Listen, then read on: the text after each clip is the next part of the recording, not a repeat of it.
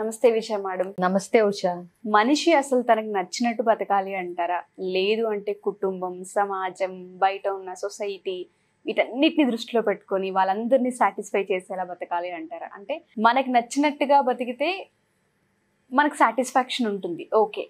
But బయట వాళ్ళని మెప్పించడం కష్టం. వాళ్ళు కూడా మెచ్చుకునేలా బతకాలి అంటే మనకెక్కడో సాటిస్ఫాక్షన్ తక్కువ అవుతుందేమో అని అనిపిస్తూ ఉంటుంది. ఎలా బ్యాలెన్స్ చేయాలంటారు అసలు?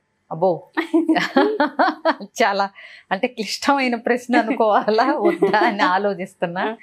అంటే అట్లా కాదు అసలు మనం ఏమనుకుంటున్నాం ఫస్ట్. సమాజానికి నచ్చింది మనకి ఇద్దరికి నచ్చినట్టుగా ఉంటే ఇంకా బెటర్గా ఉంటదేమో కదా? అఫ్ కోర్స్ ఇప్పుడు మనకు నచ్చిందే సమాజానికి నచ్చాలని లేదు. సమాజం అంటే ఎవరు? మన ఇంటి బయట వస్తే మన నైబర్స్ దగ్గర నుంచి అందరూ సమాజం కిందకే. వస్తారు. అవునా. సో నీకు నచ్చినట్టు నువ్వు బ్రతుకుతూ దానివల్ల పక్కన వాళ్ళకి ఇబ్బంది లేనప్పుడు ఏ ఇబ్బంది ఉండదు. నువ్వు చేసే పని వల్ల సమాజం మీద ఒక ఇన్ఫ్లుయెన్స్ ఒక నెగిటివ్ ఇన్ఫ్లుయెన్స్ పడతా పడకుండా ఉన్నంతసేపు ఇబ్బంది లేదు. అది ఏంటి అన్నది మనం దృష్టిలో పెట్టుకోవాలి. ఇప్పుడు చెత్త ఉంది. మనం ఒక డస్ట్బిన్లో వేస్తే ఇబ్బంది లేదు. తీసుకెళ్ళి రోడ్డు మీద వేసామనుకో అది నీకు నచ్చింది అనుకో ఆ పని చేయటం అది ఎవరైనా ఎంతవరకు హర్షిస్తారు? ఎవరు ఒప్పుకోరు ఫస్ట్ అంతే కదా ఇప్పుడు మనం ఏం చెప్తున్నాం? అరటి పండు కారులో తింటే కారు డోర్ అదే గ్లాస్ దించి రోడ్డు మీద వేయొద్దనే కదా చెప్తాం. మన పిల్లలకైనా ఎవరికైనా సరే. ఒక కవర్లో పెట్టుకోండి కారులోనే ఉంచండి తర్వాత దిగినప్పుడు ఎక్కడన్నా డస్ట్బిన్లో చూసి వేద్దాము అంటే ఏంటి? మనిషికి సమాజంలో బ్రతుకుతున్నాడు కాబట్టి సామాజికమైన బాధ్యత కూడా ఉండాలి. కదా. ఇవాళ పొద్దునే నాకు ఫ్రెండ్ వీడియో పంపించింది. ఏంటంటే ఫుడ్ వేస్ట్ చేయొద్దు అనే దాని మీద ఇప్పుడు భోజనాలకు వెళ్ళినా ఎక్కడికి వెళ్ళినా నీకు కావాల్సినంతే పెట్టుకుని తిను. ఇక్కడ దీన్ని బట్టి నీకు బెస్ట్ ఎగ్జాంపుల్ అవుతుందేమో ఇది నేను అనుకుంటున్నా. నువ్వు భోజనానికి వెళ్తావు ఎంతైనా పెట్టుకుని తిను. ఇద్దరు మనుషులు తినగలిగిందైనా తిను. కానీ నువ్వు ఇంత తింటూ అన్ని రకాలు పళ్ళెం నిండా పెట్టుకుని అది అగం సగం కెలికి కతికి మిగిలిందంతా పారేస్తే? ఇద్దరు తినేది అది నేను ఒక పక్కనేమో ఒక్క పూట తిండికి లేక ఇబ్బంది పడే వాళ్ళు ఉన్నారు.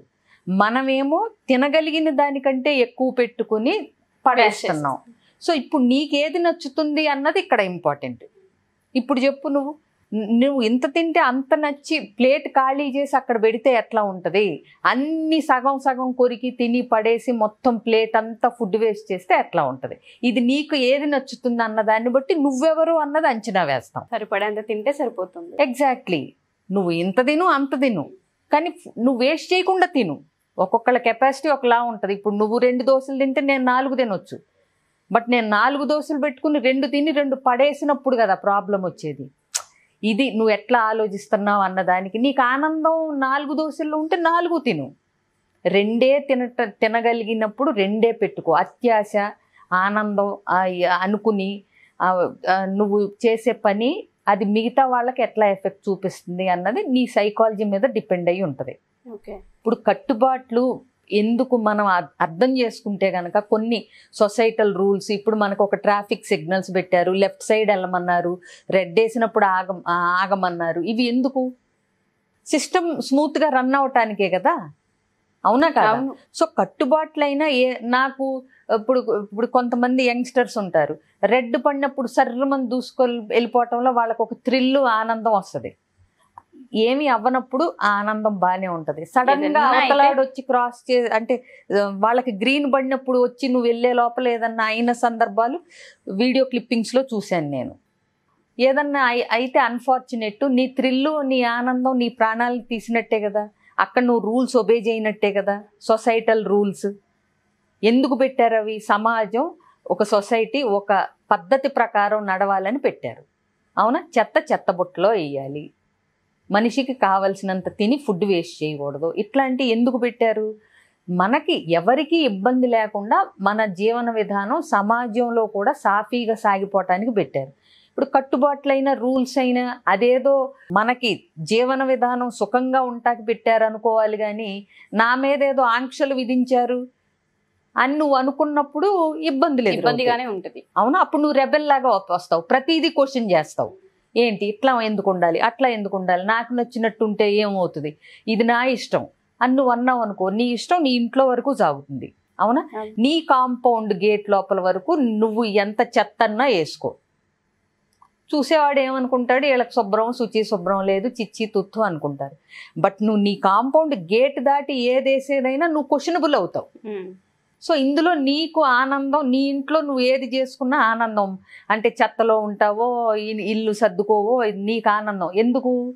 పక్కన వాళ్ళకి ఇబ్బంది లేదు కాబట్టి. అనుభవించేది నువ్వే కాదు ఎగ్జాక్ట్లీ బట్ నువ్వు నీ కాంపౌండ్ వాల్ దాటి బయట చెత్తేస్తే యూ విల్ బికమ్ క్వశ్చనబుల్ ఏంటండి ఈ వేయటం అని అడుగుతారు. నా ఇష్టం అంటే ఇంకో నలుగురు పోగవుతారు. అందులోంచి ఎవడో ఒకడు అగ్రెసివ్గా ఉన్నాడంటే చొక్కా పట్టుకుంటాడు. అవును. ఇలాంటివి జరగకుండా ఉండాలంటే నీ పరిధేంటి నీ ఆనందం ఎక్కడుంది? నీ ఆనందంలో సామాజిక బాధ్యత ఉందా లేదా? ఇది చూసుకుంటున్నావా లేదా? ఇంకోటి మనిషికి సైకాలజీ పరంగా చూసుకుంటే ఈద్ ఈగో సూపర్ ఈగో అని ఉంటాయి. అంటే ఈద్ వచ్చి ఇంపల్సివ్గా పనిచేస్తుంది? ఈగో మధ్యస్థంగా ఉంటుంది. సూపర్ ఈగో అనేది అంటే నైతిక విలువలు మోరల్ ఇక మహానుభావుడిలాగా పనిచేస్తుంటుంది. సో ఈగో ఎప్పుడు బ్యాలెన్స్ చేయటానికి ట్రై చేస్తుంది. సో ఇక్కడ ఏమనుకోవాలంటే ఈద్ నువ్వు అనుకో నీకు నచ్చిన నీ ఇంట్లో. ఈగో వచ్చేసి నీ కుటుంబం. నీ కుటుంబానికి నీ వల్ల ఇబ్బంది లేకుండా కుటుంబ బాధ్యతలు ఈగో సాటిస్ఫాక్షను మధ్యస్థంగా చేసుకో. నీకు సూపర్ ఈగో కూడా బాగా ఉందనుకో. చక్కగా సొసైటీకి ఏమన్నా మంచి చేయటమో సర్వీస్ ఓరియంటెడ్ పర్సన్గా ఉండటమో కొంచెం సొంత లాభం కొంత మానుకి మనకి పొరుగువాడికి అదేంటి సాయపడబోయ్ అనేది ఉంటుంది మనకి. అది చేయగలుగు. అంతే తప్పితే నేను నాలానే ఉంటాను నేను ఇలానే ఉంటాను అని అంటే అన్ని చోట్ల కుదరదు. కుదరదు. ఎగ్జాక్ట్లీ చిన్న ఎగ్జాంపుల్. చాలా నేర్చుకోవచ్చు. మనకి నచ్చినట్టు బతుకుతూ పక్కన వాడికి ఇబ్బంది పెట్టినంత సేపు జీవితం బాగుంటుంది. అంతే. అప్పుడు నువ్వు ఎవరేమన్నా పట్టించుకోక్కర్లా. అవును. అసలు అన అనడానికి స్కోప్ కూడా ఉండదు. ఎగ్జాక్ట్లీ.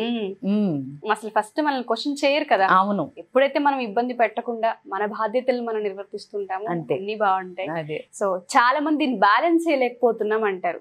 బ్యాలెన్స్ అంటే ఏంటనేది ఫస్ట్ తెలుసుకోగలగాలి. Exactly thank you Vijay ma'am thank you so much చాలా మంది ఎస్పెషల్లీ వైఫ్ అండ్ హస్బెండ్స్కి సంబంధించి మనల్ని కౌన్సిలింగ్ అడుగుతూ ఉంటారు. అంటే చిన్న చిన్న వాటికే ఇష్యూస్ వస్తూ ఉంటాయి. వాటిని ఏ విధంగా సార్ట్ అవుట్ చేసుకోవాలో తెలియదు అండ్ దాంతోపాటు పిల్లల మైండ్ సెట్కి సంబంధించి చాలా మంది మేము చెప్పలేకపోతున్నాం. మాకు ఎలా కన్వే చేయాలో తెలియట్లేదు. ఎలా కమ్యూనికేట్ చేయాలో తెలియట్లేదు అంటుంటారు. ఇలాంటి స్కిల్స్ చాలా అవసరం అని మీరు చెప్తుంటారు. వాళ్ళకి ఏ విధమైన కౌన్సిలింగ్ ఉంటుంది అంటారు అసలు? వాళ్ళకున్న ఇబ్బందులను బట్టి కౌన్సిలింగ్ అనేది ఉంటుంది ఉషా. ఎలాంటి కౌన్సిలింగ్ కావాలన్నా స్క్రీన్ మీద కనిపిస్తున్న నెంబర్ కాంటాక్ట్ చేసి డీటెయిల్స్ తీసుకుంటే నా అపాయింట్మెంట్ ఇస్తారు. డెఫినెట్గా ఒక రోజు అటు ఇటు అయినా వాళ్ళకి ఏదన్నా ఎలాంటి ఇష్యూస్ ఉన్నా ముందైతే అంటే కూర్చుని మాట్లాడి సాల్వ్ చేసుకోవచ్చు అనుకున్నప్పుడు తప్పకుండా నన్ను కలవచ్చు. Thank you ma'am. Thank you so much. So ఎవరైనా సరే పర్సనల్గా మేడంతో కనుక కౌన్సిలింగ్ కావాలి అనుకుంటే కింద స్కోడ్ అవుతున్న కాంటాక్ట్ నెంబర్ని కాంటాక్ట్ చేసి మీరు పూర్తి వివరాలు తెలుసుకోవచ్చు. Thank you.